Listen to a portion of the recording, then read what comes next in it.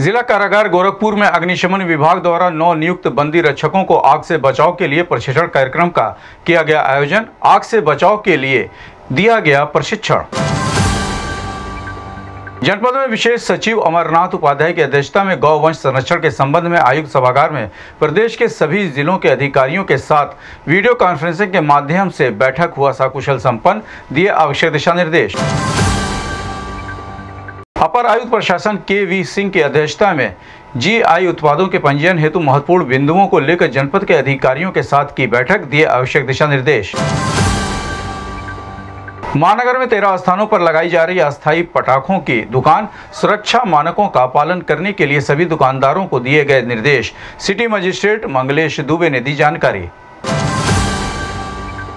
दिवाली पर्व को संपन्न कराने के लिए जिला प्रशासन की तैयारी हुई पूरी। सभी क्षेत्रों में मजिस्ट्रेट को किया गया नामित। एडीएम सिटी, अंजनी कुमार सिंह ने दी जानकारी।